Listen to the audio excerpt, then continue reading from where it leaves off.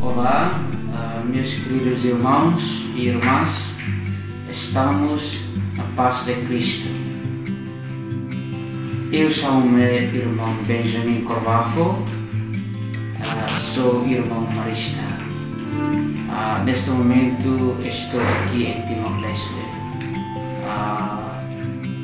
estou fazendo a missão aqui e também continuando a fazer os meus estudos aqui em, em Timor.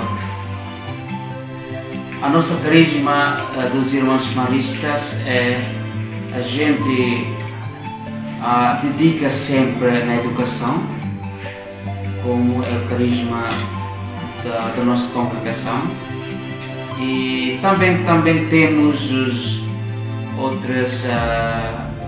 outros serviços, outras atividades que a gente dedica a nossa vida uh, para ajudar outras pessoas que estão nas vulneráveis situação, mas especial carisma é para educar os estudantes ou as evangelias da escola. Para este termo da vídeo o que eu queria expressar é o que é o amor para nós. Porque toda a gente sabe que 14 de fevereiro é o dia do amor para todo mundo. Dia do amor para todos nós. Nós necessitamos do amor para a gente viver.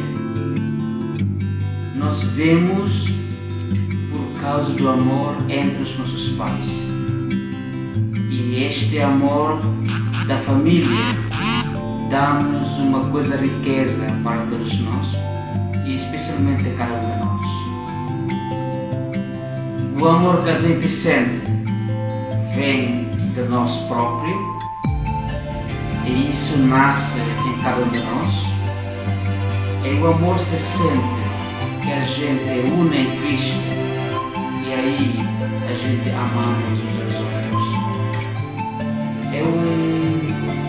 exemplo especial para nós neste grupo que nós temos um amor profundo para a gente juntarmos neste grupo de unidade criativa. É isso que Cristo nos revela todos os dias, uma graça, uma bênção